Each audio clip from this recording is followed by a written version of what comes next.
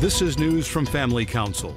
Touting efforts to protect religious freedom, President Donald Trump told the National Prayer Breakfast that his administration would defend the right of faith based adoption agencies to place children in families based on firmly held religious beliefs. Trump said, We will always protect our country's proud tradition of faith based adoption. My administration is working to ensure that faith based adoption agencies are able to help vulnerable children find their forever families while following their deeply held beliefs. Trump alluded to an American Civil Liberties Union federal lawsuit against the Michigan Department of Health and Human Services that challenges a state law that protects child placing agencies that deny adoption services because of a conflict with the agency's religious beliefs. The lawsuit argues that state contracted, taxpayer funded child placement agencies unconstitutionally discriminate by disqualifying same sex couples from consideration for adoption or foster care. The president also told the breakfast audience his administration is speaking out against religious persecution around the world, including against religious minorities, Christians, and the Jewish community.